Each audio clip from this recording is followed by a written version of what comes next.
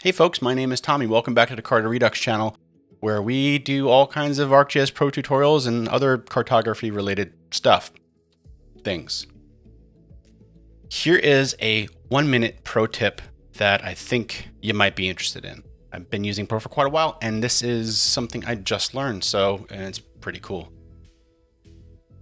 So over here in Pro, we've got our table of contents. We have some layers already in there. What I want to talk about is some hotkeys that are really quite helpful. I'm sure most of you are familiar with the workflow of copying a layer, then coming over to the table of contents and pasting that layer.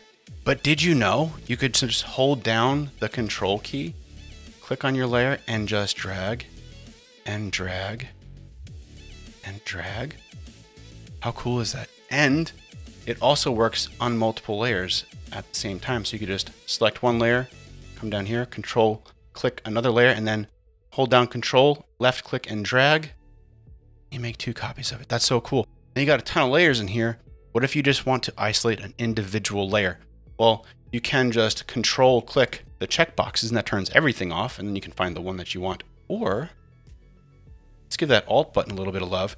You can also hold down the alt button and left click on the layer that you want and it'll just turn on that one layer. Want to pick a different one? That's fine.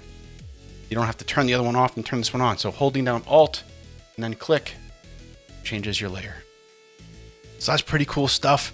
Uh, hopefully we finished all that in less than a minute. If not, it's pro tip in just over a minute. So anyway, hope you enjoy, um, and we'll see you in the next one. Take care. What's that?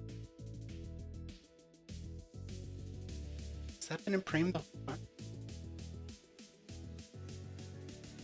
Oh well. See you, folks.